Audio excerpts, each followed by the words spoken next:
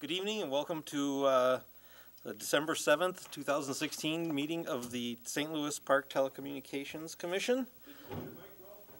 It is on. Can you hear me? Testing? Okay.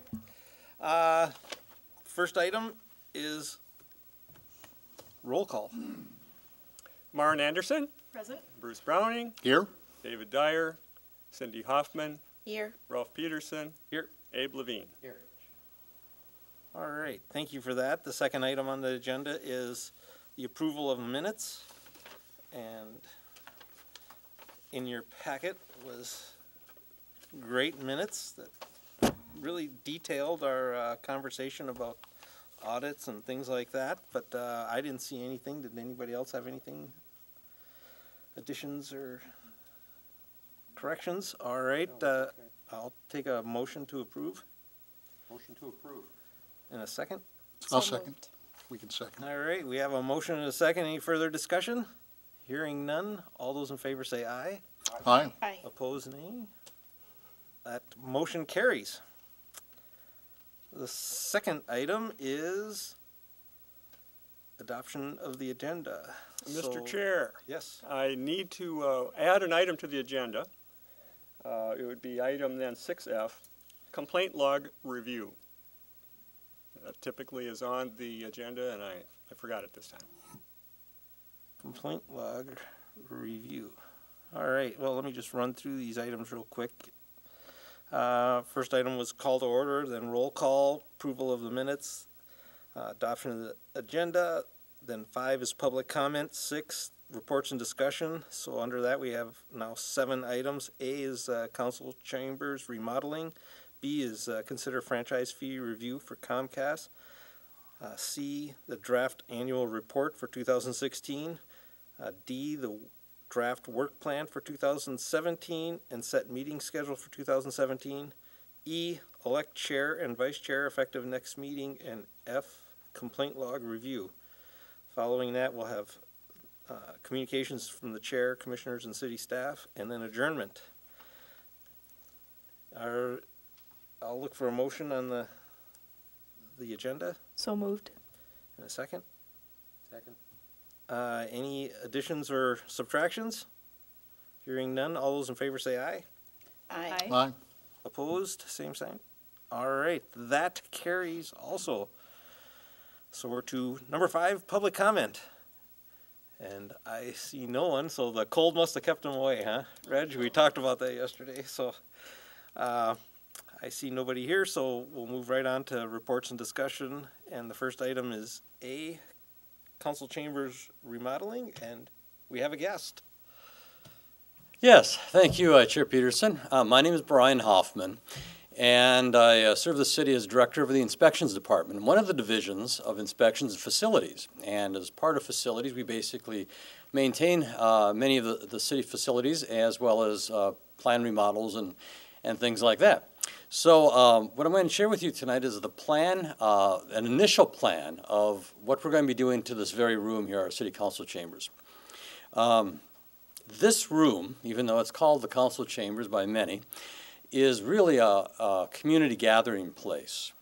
And just as you're holding uh, your commission meeting here, uh, we have a lot of people that come in and use this room for various meetings, uh, members of the uh, community, as well as it's used by city staff for holding large trainings and meetings as well. Uh, on average, it's used about 15 hours a week, actually, uh, for non-council meeting events. So it really is a place where that's a, a main uh, gathering uh, location. So we wanted to take that into consideration.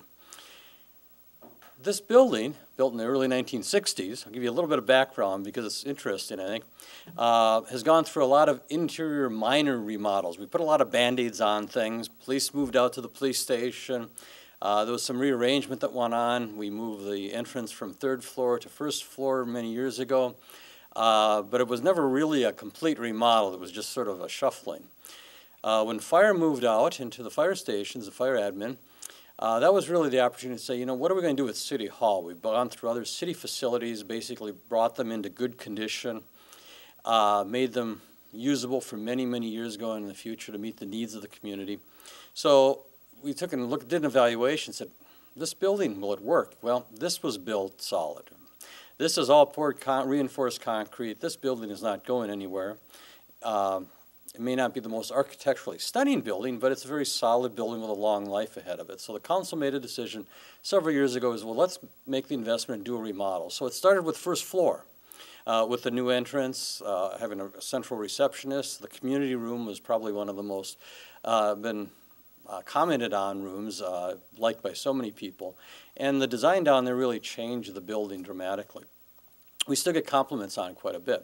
The architectural firm is Crock O'Brien Mueller and Associates. So then, uh, last year we finished up second and third floor offices and the lobbies. Carried the basic styling theme through. It wasn't nearly as major of a, of a project as the first floor. And it came up now to where, well, the last room left really in this building is the city council chambers as well as the restrooms on the second and third floor. So we started saying, well, at the very least, we need to put in carpeting, we need to put in some new chairs and, and wall finishes. And so we went to council and said, well, this is planned, and is there an opportunity to do something else? So we're working once again with the same architect who did the first floor, and said, what could we do with this room? How could we improve it to make it a more inviting place and a better layout? Um, something else we took a look at too is, gee, should we think about security at all? You know, a city council room like this, what are the options? What should we do?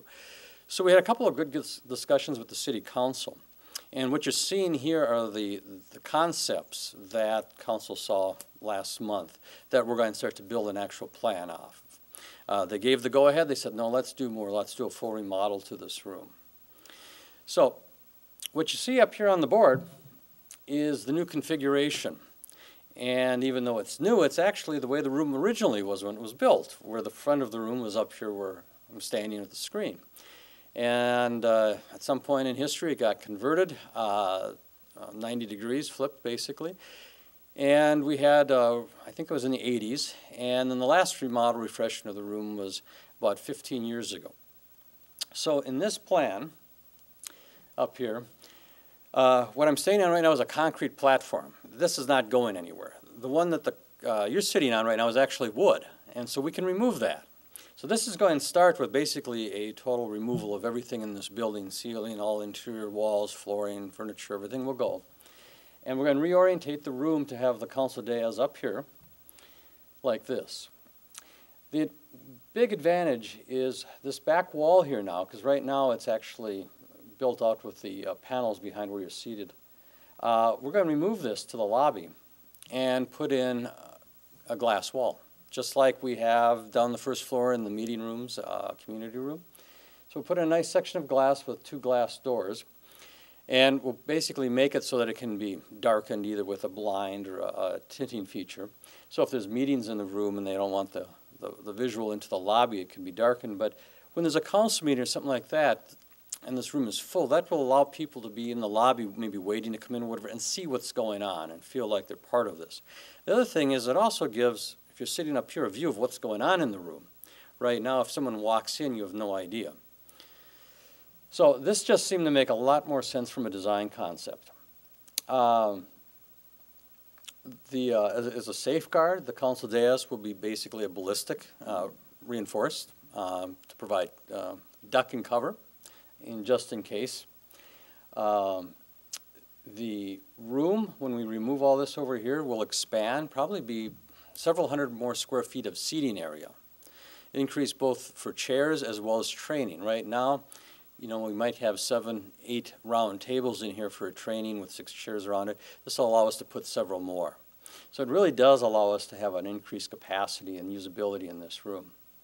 Uh, I've got to add an extra exit door down on this level to make sure we're all fully accessible, so we can have steps in the exit way for uh, disabled accessibility. And uh, the new presentation table for staff is expected to be over here, um, as well as a little uh, spot right up in front of the council, just as we have now. The ceiling, uh, that's going to be on the next drawing. The ceiling, though, will all come down, and what you're seeing here in this picture is the use of large TV monitors. Great clarity, great definition. Uh, We'll have to figure out where they need to be placed strategically throughout the room, but the idea is people won't have to turn their head 90 degrees to see a presentation. Hopefully, we'll be able to make it easier.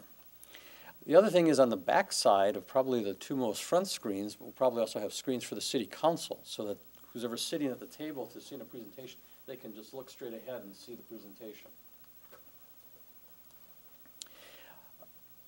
Um, Back here, we've got the two rooms. Right now, the plan is to leave this wall in place. It doesn't really gain us a lot to change it. Probably put a door to combine these two rooms, or possibly have a door here, just so that anybody who's in the room here can get out without having to walk behind the council table.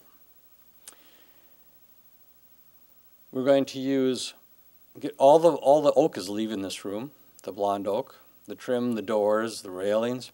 And what we're going to use is probably a combination of glass and aluminum carrying through the same theme that we have downstairs and on the stairway on up here.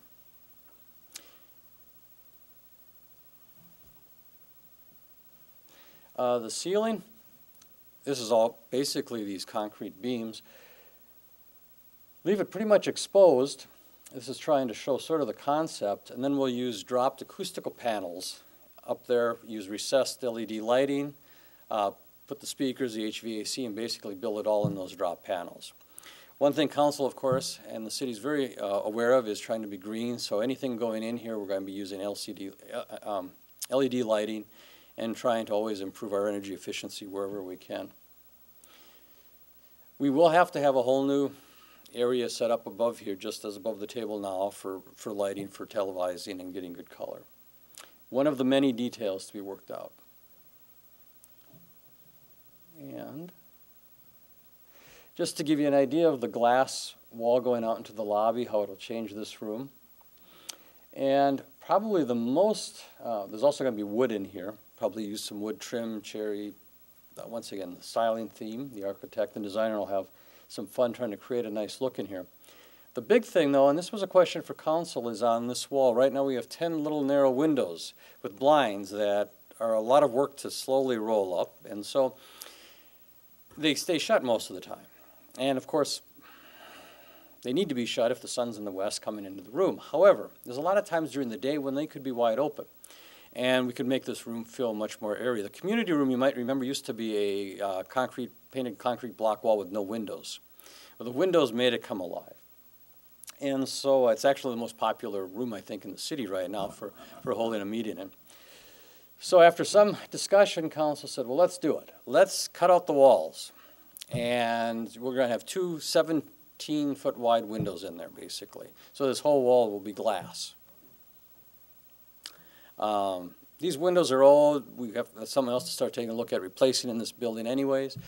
But uh, we thought, well, let's get the big thermal pane windows in there, and we will have either a, uh, what's called Sage Glass, oh, that's a company's name, uh, that's, that's darkening, electronically tinted glass, I guess is the technical name, electrochromatic glass. So that when you're in here, it could be clear or it could be dark, or anywhere in between, and you can just tint the glass by throwing a switch. Other option, if that's too expensive or not going really dark enough, we could use a set of double roller blinds like we have in the community room. So, all of this is coming together and will be designed this winter. Uh, City staff will do a lot of the work, our facilities department and, and other people in our operations will get together and do the demo and some of the light construction as well as, and then using uh, licensed electricians and uh, other contractors. Uh, We'll be adding a convenience sink and coffee maker in this back storeroom. The storerooms will be less stuff stored and a little bit more usable. Uh, Right now, if you wanted to bring uh, refreshments into the room, it comes from admin and then through the lobby, so we're going to do that in here. Uh, Pretty big investment, it's about $870,000 is what the budget is right now based on our contracting estimates. Uh, And then on top of that, there's also $100,000 in the CIP for basically the technology in this room. Um, Upgraded high-definition cameras, the monitors, and whatever else is necessary. Um, Estimated construction, June, starting probably three solid months that this room will be out of commission.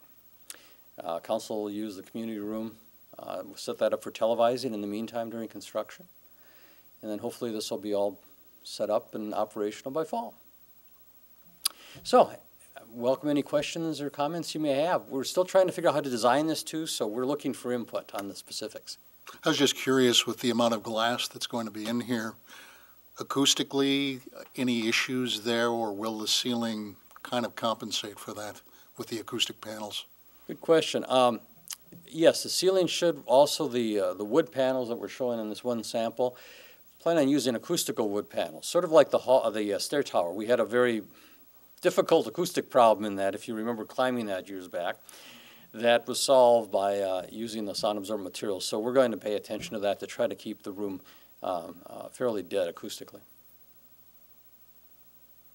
I also have a question on the glass. Um, so you had said ballistic proof or bulletproof glass along the inside, and then there's going to be windows along the street? The council dais, the idea was that the, the table where you're sitting would be basically have ballistic shielding put into it when it's built. It'll be a new, newly designed one. Uh, We had, please talk to council basically about what, it- what is important from a security standpoint, and a couple of components are, one, visibility, knowing if something's happening or coming. Two, uh, panic buttons. It will, of course, be televised. Dispatch has a view of what's occurring in this room. Um, and then the most important thing is simply duck for cover. If something happens, it usually happens fast, and the best thing to do is duck behind the table.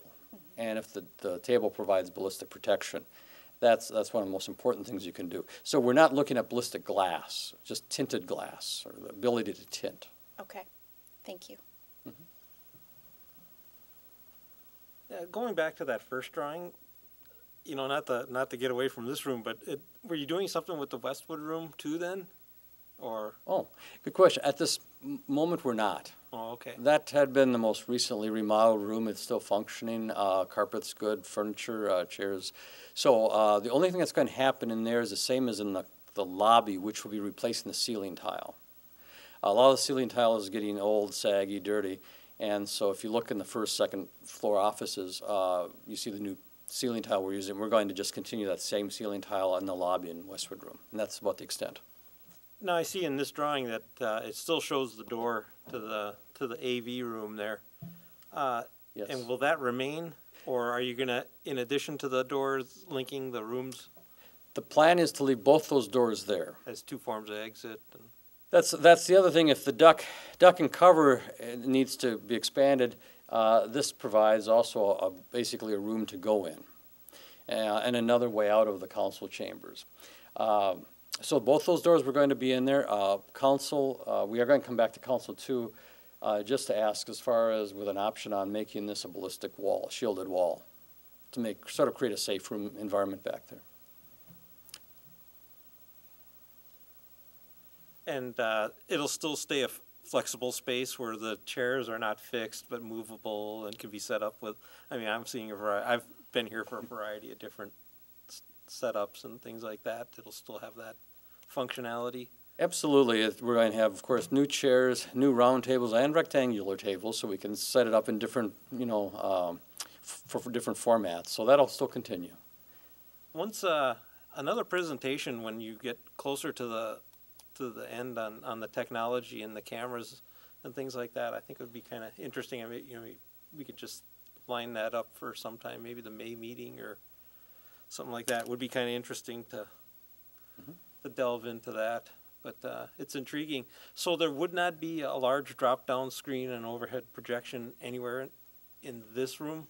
That is the plan right now, is to get away from the screen technology.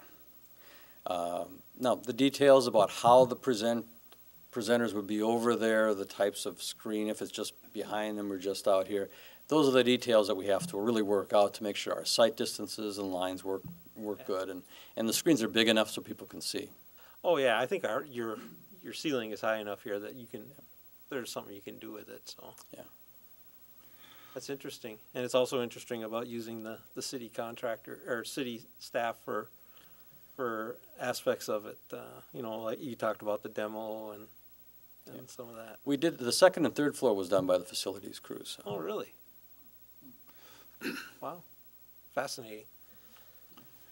Uh, Brian, are the main uh, entry doors to this room going to be glass or wood? The, The double doors going into the lobby are expected to be glass right now. Since it is going to be a- an aluminum frame glass wall, we would put in uh, glass doors. Are, are they going to be uh, power assist doors for uh, mobility issues? Um, That's something we haven't talked about. Generally, uh, under the code, they're not required. Usually exterior doors are done as a convenience. Um, Interior doors could be made assisted uh, or controlled, but that's something we haven't talked about yet.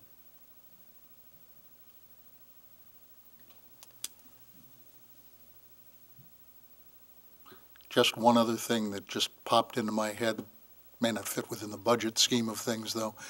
Uh, Anybody talked about a video wall as a possibility? Far wall, perhaps. Just to throw it out there. Good idea.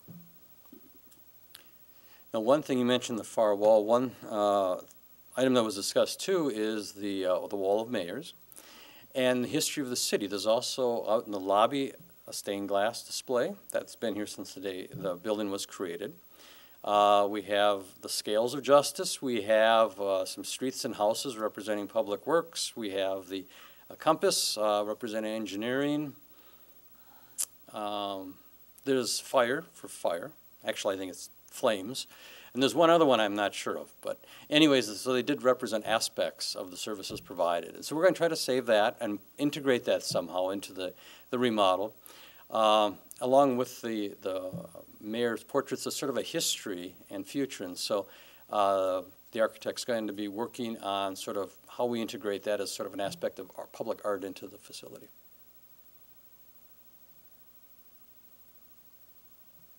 Excellent. Any other questions? Commission, staff? All right. Thank you, Brian. You're very much. welcome. Glad to be here. Thank you. Exciting changes. Start at the bottom and work your way up. I knew you'd get to this room eventually, so fantastic. I was surprised when you said 15 years ago that this room was remodeled, but I remember we, I think we had one school board meeting in this room when I was on, because they were redoing that room and, and then uh, this room came online. So it was about 2000, I don't know, three or two or something like that, so Yeah. it's been a long time, so great, great work. Uh, the next item, item B is consider franchise fee review for Comcast, two thousand fourteen to two thousand sixteen. Uh, we had quite a discussion last week and we left with, uh, a couple of charges to the staff. Uh, so I don't know, uh, Reg, you wanna Yes, sir, I have a couple suggestions. Um, uh, First, I will say that we, uh, I was directed to survey other local franchise authorities and find out if any other partners were available to partner in the audit. And sadly, uh, no, no partners are available right now. Uh, St. Paul is finishing up a um, franchise fee uh, review right now. So uh, while preparing a report for the city council in the eventuality that in case you were to recommend uh, such an item, we ran across a very interesting uh, bit from the minutes going back a few years, going back to August 28, 2013. The consensus policy was to conduct two different audits that cover three years each during the remaining eight years of the franchise, which ends in January 2021. That means that there'd be an unaudited period from 2008 to the end of 2010, and another two-year gap before the franchise ends in 2021. So let me just mention then that what happened was at a later meeting that year, the commission recommended a three-year franchise fee review, which occurred in 2011, 2012, 2013. And where you folks are at right now and had a, a healthy discussion at the last meeting was, should we give the, should we go back three years and, uh, and audit and pick up from 2013 and do 2014, 2015, and 2016? So my suggestion is that um, the, this was a, a policy uh, decision by an earlier commission that was thinking of the exact same things you talked at the, about at the last meeting. Is it worth it to do it? And what is our obligation under due diligence? So uh, uh, I, I would recommend, uh, I've, I've discussed this with both uh, John and with Jackie, and the staff recommendation is to not go forward with a franchise fee review for 2014 and revisit this next year.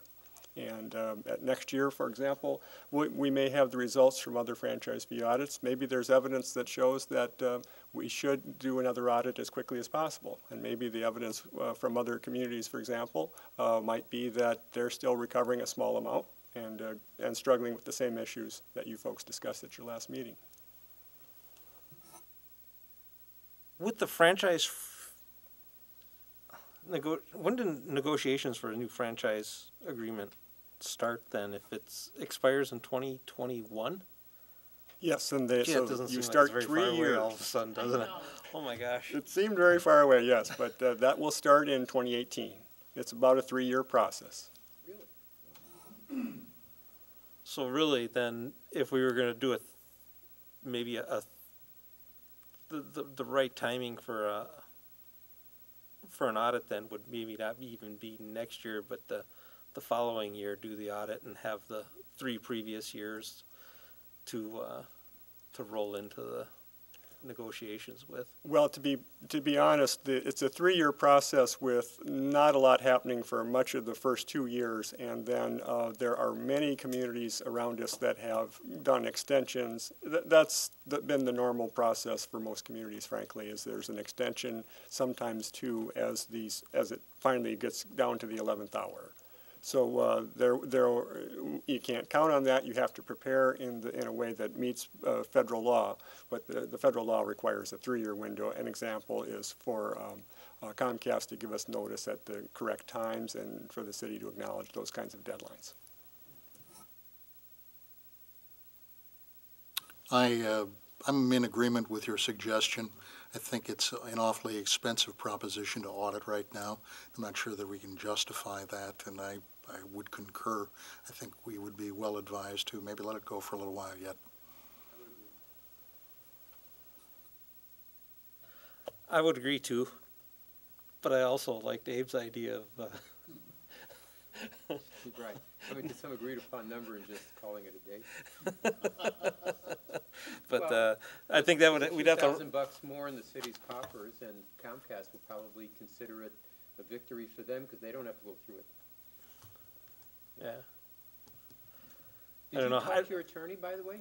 We did talk to the city attorney about it, and he gave me some uh, kind of good guidance about how to discuss that. And as a matter of fact, what he suggested was a, um, was a, uh, a, a private meeting with staff and Comcast to talk about these kinds of things, and, and gave us some, some helpful direction.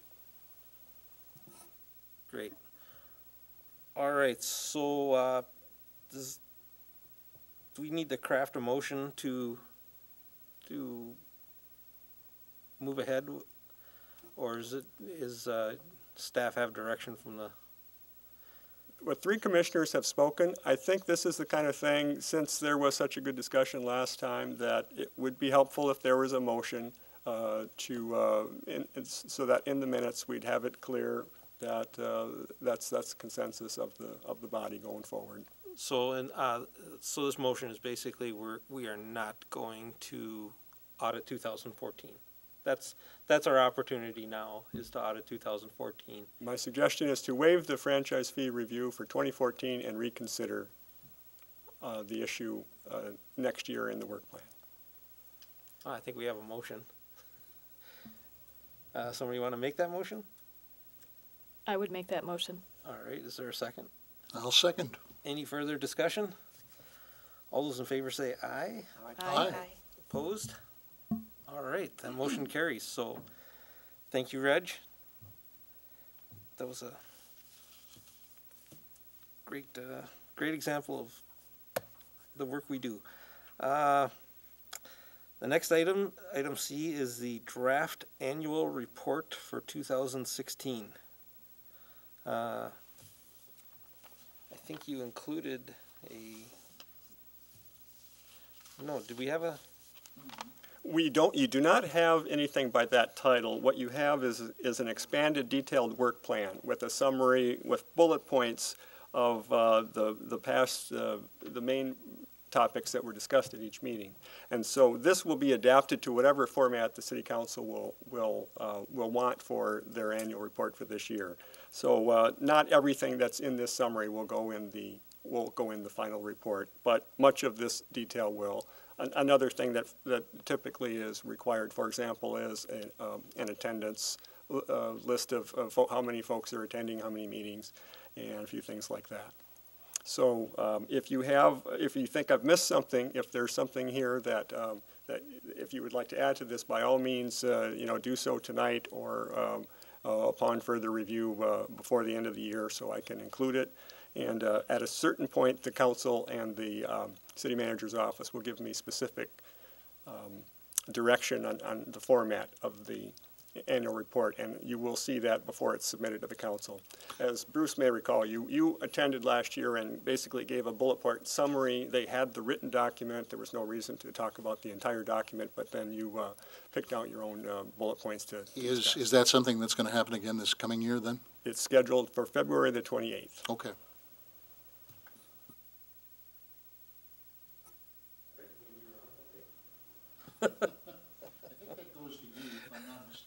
Oh, wait, there'll be a new chair, won't there? Maybe not quite yet. All right. Ah, that's fine. That's right, we'll cross that bridge when we get to it. All right, uh, so, yeah, I did, uh, review this. I guess I didn't realize what I was re- reviewing, but, uh, I, it is a, a good, uh, uh, fleshing out of, of, uh, the work that we've done, so, uh, did anybody have anything that they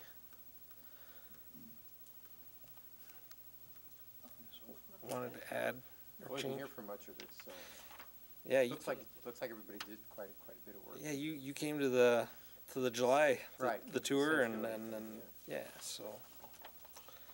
Awesome. Well, good. Thank you, and I will attend that meeting if some, they want somebody to make bullet points. Tell some telecom jokes, things like that. I can do that. Uh, Reg, when- if there are any changes to this, when, or enhancements or whatever, when do you need to have them by? Well, at this point, we, we only know about the meeting being held on February 28th. At a certain point, we'll get detailed direction, and then I'll do a, a draft and send it to commissioners so that you can look at the format, the final format, and, Okay. and make any changes. I might have a little trouble with being long-winded, so there might be that the, the, No. uh, the draft might be shortened. Did you say February twenty-eighth? Oh, 'cause I think you said January of twenty-eighth the first time. Oh, did I? Okay, Okay, sorry, I so meant it's February February, 28th. It's two twenty-eight. That's on the Wait a second. 2017 Uh, no, I'm, I'm sorry, no, that's not the twenty-eighth. It's, uh, this is my final answer. February, February twenty-seventh is the study session with the, uh, with the council and commissions. Feb. Twenty-seventh. of February. Awesome. Is this the two thousand sixteen document you're talking about? Or the Yes. seventeen? This Oh, is the we're- 2000 We're still on the sixteen, Yeah, this will be the review of, got it, yeah. Okay. I was ahead. Yeah, you, you jumped the thing. So, moving on to the two thousand seventeen document. There we go. Uh, I have that now. So, uh, moving on to item D is the draft work plan for two thousand seventeen and set meeting schedule for two thousand seventeen. Let's see. You know what we ought to do in seventeen? You got mic on? Oh, I'm sorry. You, just a thought, maybe because I come from the wireless industry, um, but maybe we should invite either an AT&T or Verizon person to come and discuss 5G, uh, uh, basically, not just the high-speed broadband, which is very high-speed, but start analyzing how this might affect the city in terms of the cable. I think it's a great idea. And uh, I'd be willing to take point to get somebody for that. When would you like to tackle that, commissioners? Well, let, let's give it until summertime, uh, only just get, let 5G get more mature in their thinking. I, I wouldn't do it January, February, I think it's a little early yet. But sometime in the second half of the year, I would do it. If you want to do it July, yeah, sure.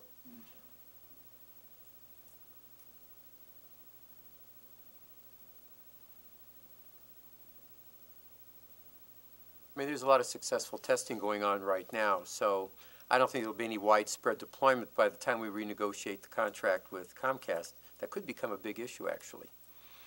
So we'll be prepared, we'll know what's going on.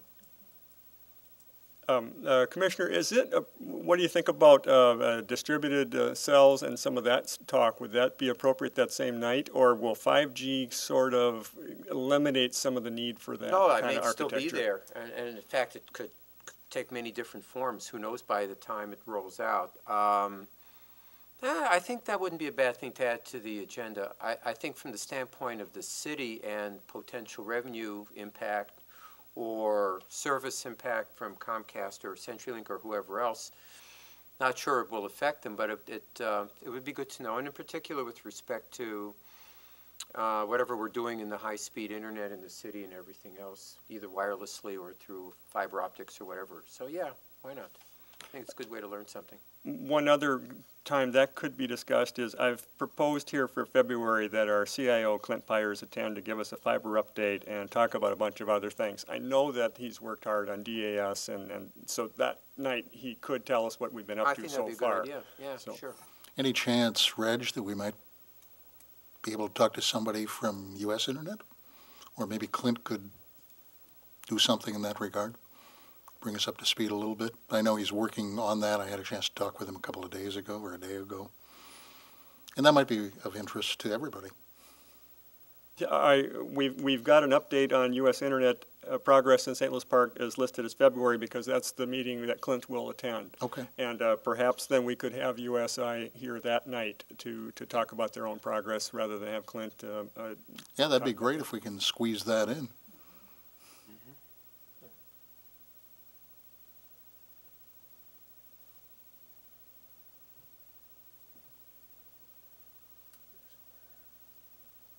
I want to mention a couple things that were added here from, that we didn't get to this year, that were left over, so to speak, from Jackie's discussion earlier this year of the city council strategic goals. So as an example, um, uh, for the May meeting, um, uh, one is listed supporting public and private schools and community education initiatives. There's another one in, in, um, in July, and then, um, uh, so, uh, I, we'll keep that in mind, uh, that some of those we haven't addressed yet. I'm not sure how much advance work we need to do before those, but, but that's what those are for, and, and those could be shifted around as well if you think they could be combined with a more appropriate topic on another night. I like the idea, uh, one of the things that was put forward here was a possible resident survey. I still think that's a good idea. I'm not sure what the best way is to do that at this point, but I think we should look at that.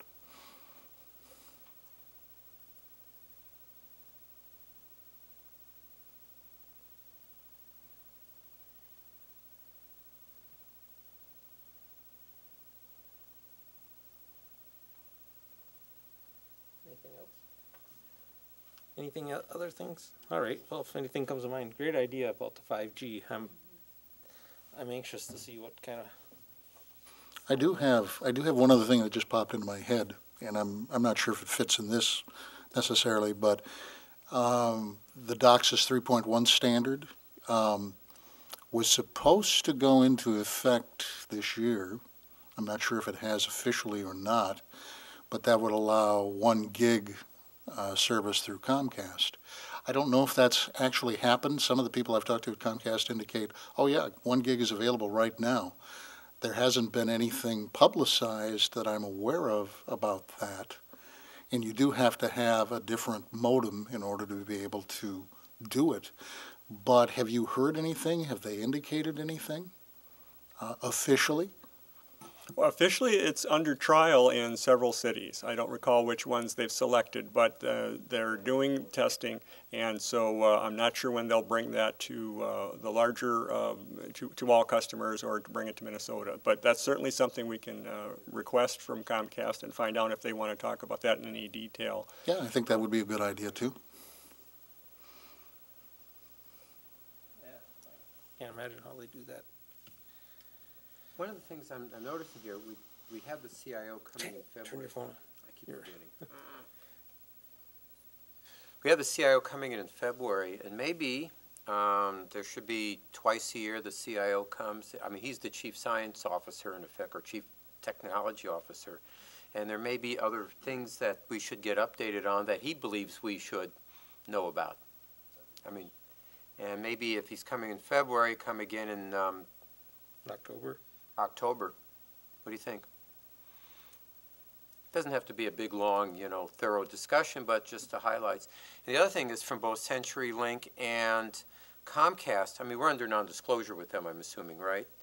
Uh, So anything they tell us in the room stays in the room, or, uh, well, or is that not true? That's not true. Uh, This is a public meeting, and so uh, these meetings are available on the Okay, well then my idea is bad, because I was gonna say, they may want to give us an update of things, for example, the one gig, when are they gonna roll it out? Maybe they haven't announced it yet, but it would be good for us to know. Uh, or other things that they're contemplating, like when I asked her last time about getting rid of standard definition. Uh, they may not want to announce it yet, they may have the plans and may be willing to discuss it under an NDA. I don't know how you do that, um, legally or, or functionally, but there may be things that either of them want to talk about with us as a heads up, or maybe even get our opinion. I don't know.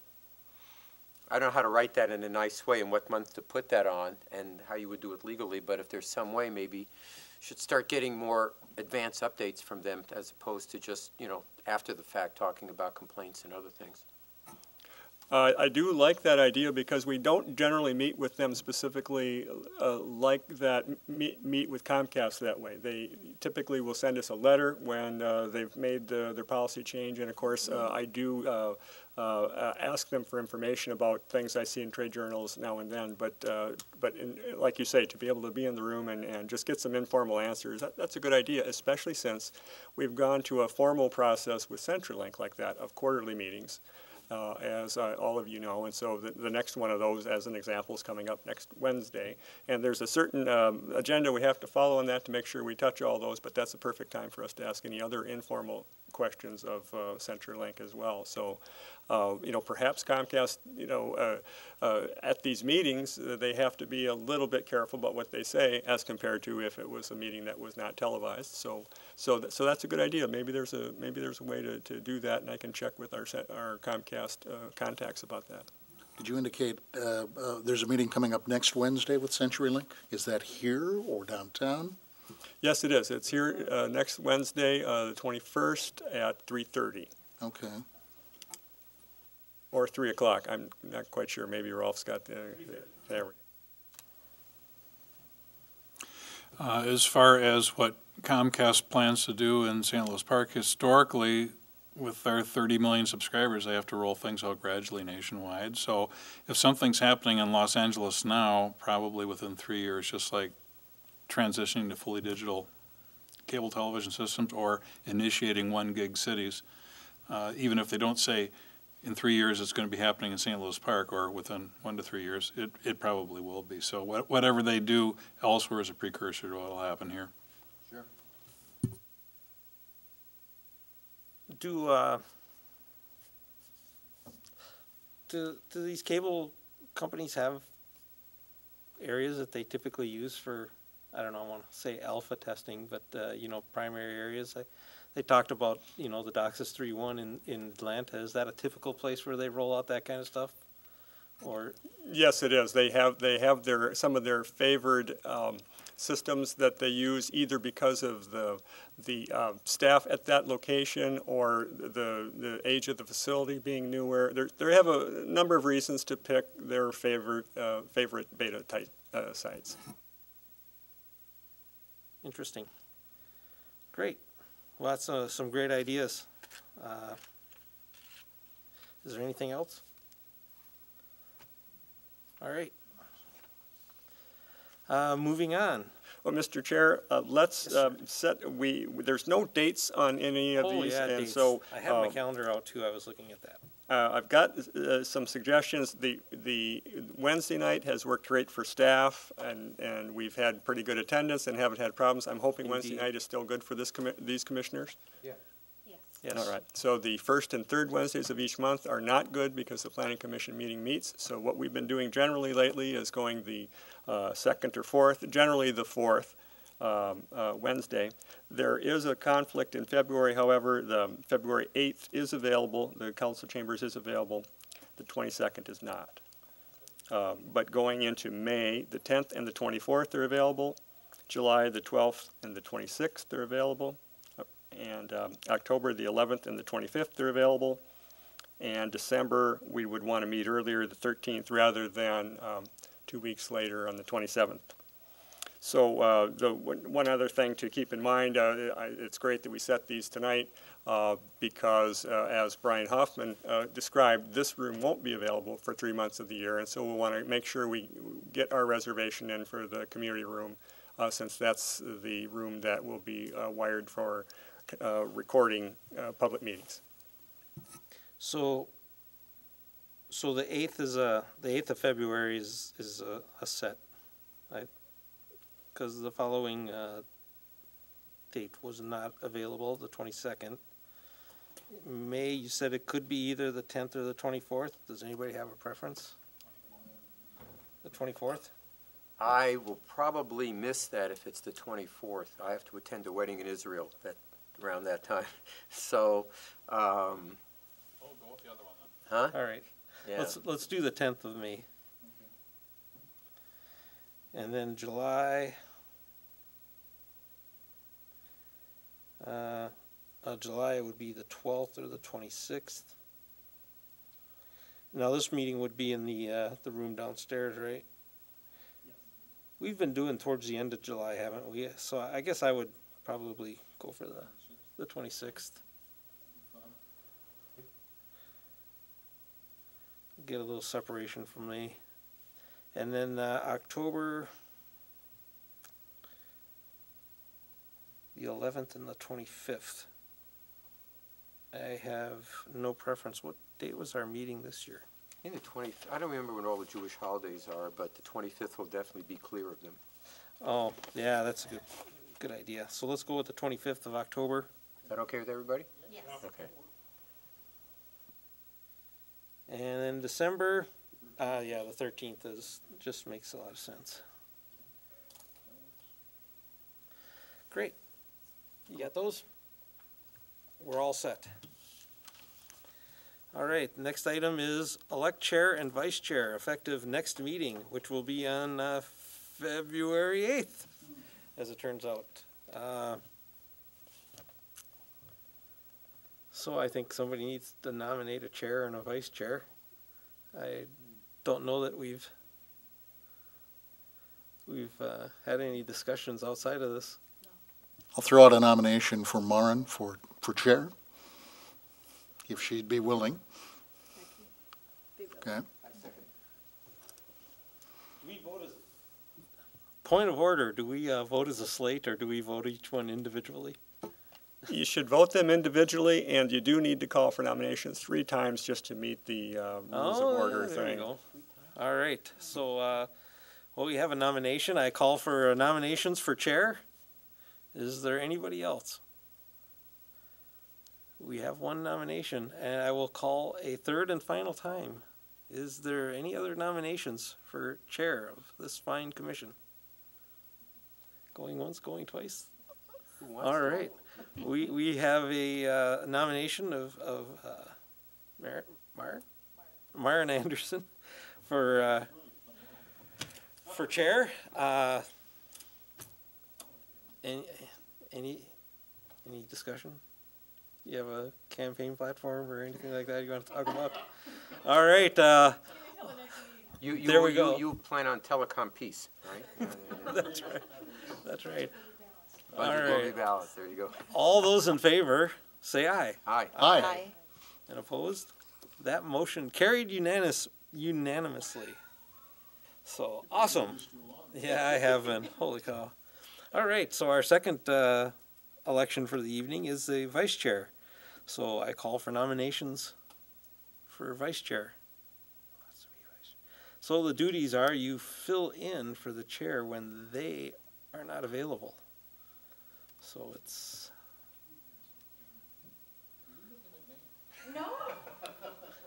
Who's the current vice chair? The current vice chair was Maren. Oh, oh, oh. so you just got a promotion. yeah, she just got promoted. Right. So, So then, have you been vice chair? Nope. Would you like to be chair? I nominate Abe. I would second that. All right, we have a nomination. Any other nominations? I will call for a second time. Any other nominations for vice chair? This is your chance to get out of it. Uh, one, a third and final time. Any other nominations for vice chair? All right, so we have a nomination in, in Abe Levine. Uh, Do you have a platform or anything you're running on? I will help her balance the budget. There we go. Awesome. All right, all those in favor of Abe, vice chair? Aye. say Aye. Aye. Aye. As opposed, and that motion carried unanimously. So, thank you for stepping up, both. Sure. And on that, I will step down. Uh, so, item F, the complaint log review. And it was much shorter. As a matter of fact, I thought I maybe missed, I was scrolling it and, uh, I thought maybe I was missing pages, but Acrobat never lies to me, so. Uh, Oh, here we go. any, any comments on any of these? Or, The first one's very, I, I, yeah, mine's on. Oh, It is on, yeah, that's time I remembered. No, I mean, I have no, no comment other than some, some of these I, you know, and I, I've never had a problem getting through. And so I, I'm just, I'm curious if some of these are just user error as opposed to, I don't know. Uh, I mean, I've been calling their support line for twenty years and have never failed to get through, so I was just, Well, that's where the anecdotal stuff can be uh, misleading sometimes. You- Yeah. You never know. I, I know for a fact, though, that uh, I've had people call to complain and say, I keep calling the customer service number and I get a busy signal. I can't get through to them. You know, that's a, that's the kind of specific comment that, of course, causes your ears to perk up because they're supposed to have plenty of lines to roll over, et cetera. Right. So, uh, but, but uh, some of the times, for example, we, I know that one of the uh, most intense um, complaints that I get is people dislike menu trees that take forever. And uh, Comcast's is not the longest one I've ever heard. I was- I've They're used it myself many either. times. It's not the longest, it's not the shortest. I've run into a couple for uh, service organizations that are extremely tedious and where you've entered your account number the- second or third time, and, and um, yeah, there's, there's a very good TV commercial about how the, the guy by, eventually is sitting on the floor saying, representative, and um, so, uh, anyway, so, uh, com, uh, so the anecdotal information sometimes is misleading. One of the things I noticed from this, this one that made me think about it is, she was calling, I don't know why I thought it was a she, I guess that's not fair for me to, um, to assume that, I don't know why, but I, um, whoever this person was, they're dialing the eight hundred number, and I never dial the eight hundred number, I dial six one two five two two two thousand, and, which was the old number before Comcast became here, uh, and I'm wondering if Comcast shouldn't be, uh, putting out their local number for people to call and make that known rather than the 800, and you might actually get through somewhere Yeah. better. I think that's a good idea. I don't know that they do that right now. I don't think they do. Is that like the old I think it's- Nortel number? Is that? Well, it- I, I think it's a Time Warner cable number before here. I think, it yeah, no, Could have been. it goes back, that number goes back a long Does it time. really? Yeah. But I, you Yeah. could, you can see how often I've called them, because I know it by heart, but um, I'm wondering if that shouldn't be, I wonder if there isn't some sort of um, uh, a switching station here that might be better off than just going straight to the 800 number, which who knows where that is.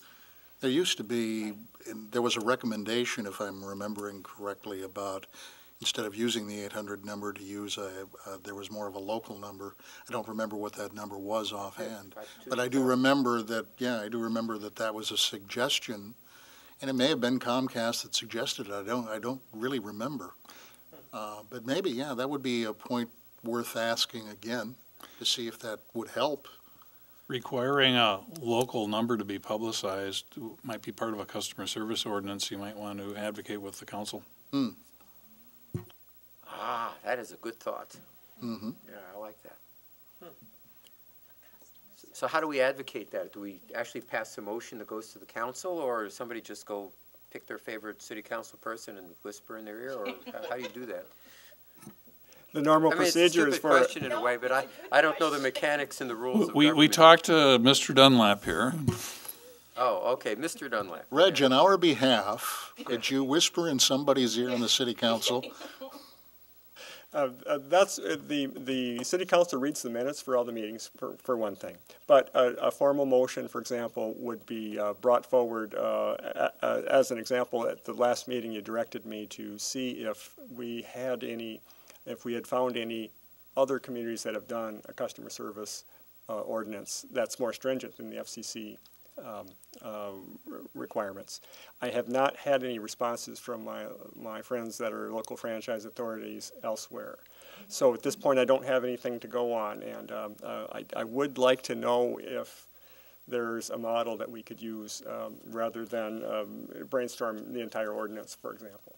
Do we know, uh, do we know if any other, any, any, uh, any of the other Comcast areas have anything like this, or do they all recommend the 800 number and that's just it? Uh, As far as the telephone thing, is whenever folks call me, uh, frequently when they say they have a hard time getting through, I ask what number they call, and they're calling the 800 number. So I always recommend they call the, the 651-222-3333 number, which is what they print on their uh, bills for, Really? uh, for customer service. Okay. I never read my bill. I get an email and just pay Yeah, it. me too. People that have done that in the past, have they had better luck using that number? It, it's hard to say. They frequently, they don't, they rarely call me back to say that, yeah, I reached them the first time on that number, but that's the number that I've been using for many years, and uh, whenever I need to call So the question is, really, and Comcast that maybe could tell us at the next meeting, what happens technically when you dial those local numbers? Is it just an alias for the eight hundred and we've all been getting lucky? Or, um, or, Or you know, sort of an overlay number, so to speak, or it actually has a different pathway through? That's a great question. I, I suspect that both of the local numbers, both the, uh, the 612 number you mentioned and the 651 number, that there's a good chance they might go to the St. Paul uh, Service Center, uh, local call center. And uh, that uh, an 800 number, you, it, you could expect that that might go to some, another area of the region, Denver, Exactly. or one of the other uh, call centers that they've just opened up.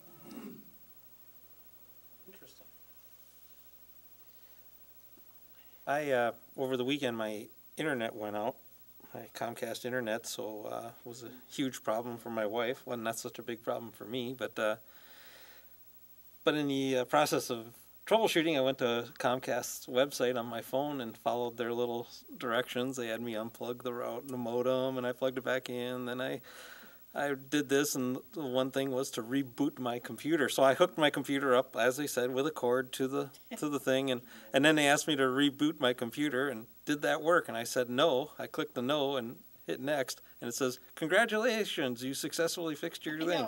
I thought, well, did I hit the wrong button? So I went through the whole rigmarole again. Only I didn't reboot my laptop because it doesn't need to be rebooted every five seconds. Just but tell uh, you did all that. and I did it three times, and it always told me I was successful even after I clicked no, it was not successful. So it was just kind of funny, but uh, I ended up changing the grounding block, and uh, it works wonderfully. So I'm not sure what the problem was, but I fixed it for a dollar twenty-three.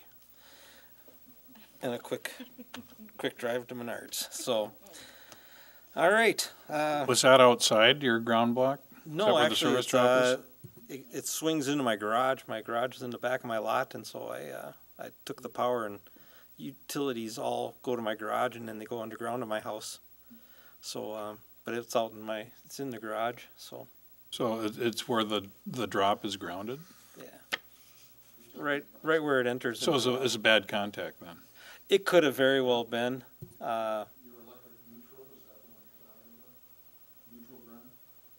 No, it's a ground block. It goes to, I have a, uh, No, no. Okay. No, it's a, you know, it's a bonded ground to a grounding rod in my garage, right outside my garage. But that's also where power comes in. It's the same, shares the same thing, but, uh, you know, the telephone, the cable all come in there and then it goes underground to my house. But, uh, yeah, it was just corrosion of some sort, so yeah, it's cheap enough to change out, so. At first I just put a barrel connector in there and it was good, and it worked. So then I think, oh, I better get a grounding block. Hook that ground back up in case I get struck by lightning, burn down my house. So. But uh, it was just kind of interesting how uh, it, it went so far and then just assumed that it was fixed. Uh, I did not, uh, I did not call. So, uh, anything else Well, on the one of complaints? complaints, I'm surprised I'm seeing that, that this person said they were paying their bill at the Beltline building. I mean, that's, That's been years already since you can't do that, and, but the Xfinity office on Excelsior. I don't know what to say, but it's just odd, I did the complaint, I guess. Um, they go out of- to great pains on television to point out that they've got these things. So I, I hate, I, it's hard to hold Comcast at fault for some of these complaints in a way. Maybe they left out, it seemed like only yesterday I was paying at the Beltline building. It's been a long time. It's been, what is it, seven years uh, between? Yeah, There was a Dropbox for bills, though, and it could be that that has been removed. I, I, I actually haven't checked the Beltline office, but for a while, there It was. still an- is a Comcast office. It still is a Comcast, uh, still uses it, uh, and, and has a, has a presence there, but they had, used to have an equipment drop and a, a billing drop there, and it could be that's what the customer was referring The to. door says warehouse on it now.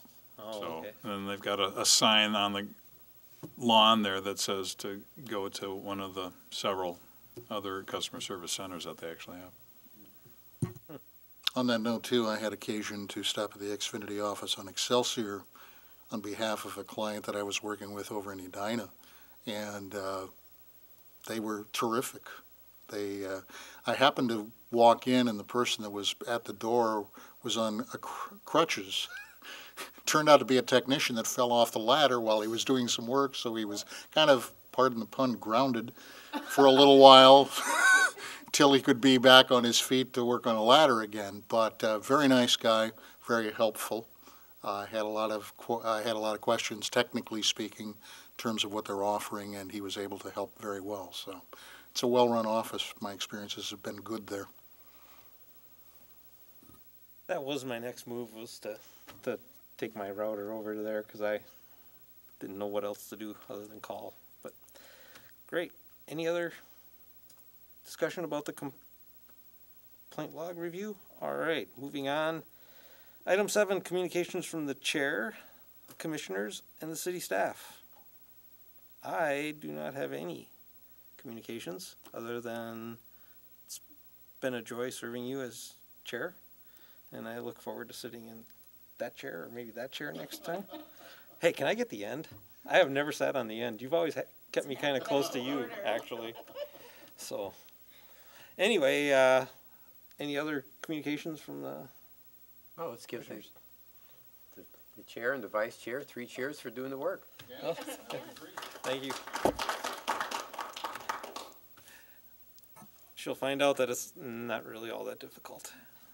Uh, Reg does a great job setting it up. Great staff here, St. Louis Park. So, and with that, I pass it over to city staff. Do you have any? I do have a couple things to update you on. Uh, First of all is that uh, in some informal talks with Comcast, um, they have decided to commit to uh, allowing the city to have one HD channel within uh, 90 days of notice, which was part of the uh, transfer agreement, the proposed transfer agreement that had to do with Comcast uh, transferring this franchise to GreatLand. So uh, we don't actually have that in our hands yet, but it's something that Carly Werner, who was here at the last meeting, said that uh, they, they would be able to advocate for and uh, are, are very, um, um, are, she's convinced that should be no problem for them to, to do. So that would be great news because right now um, we do have all uh, HD production equipment in the control room, and uh, just in the last couple meetings, uh, all the meetings are recorded in HD, and uh, they go onto CenturyLink, Prism TV in HD, and on YouTube in HD, and uh, you can see a difference. And speaking of CenturyLink Prism TV, um, the last uh, three or four working days, they have been installing their product here in City Hall at uh, Fire Station 1 and in the police EOC. So we now can see what it looks like, and there's a few things to clean up. And as John noticed right away, uh, the Mosaic channel, which is supposed to be able to show all the Park TV channels and be the one channel you publicize for folks to get to all Park TV channels. Channel 22 is not working right now um, as the Mosaic, so we'll have to have them uh, look at that and get that fixed up. But they, we, we can, for the first time, finally see what it looks like. And then um, finally, um, I, we talked briefly about the customer service standards, and uh, I didn't put that on the work plan for next year, but uh, should we then add that to the work plan uh, for next year to uh, continue researching and, and, and looking at the kinds of things we'd want to put in that? We talked about that last time, didn't we? Yeah. Um, Hmm? Yeah, I think so.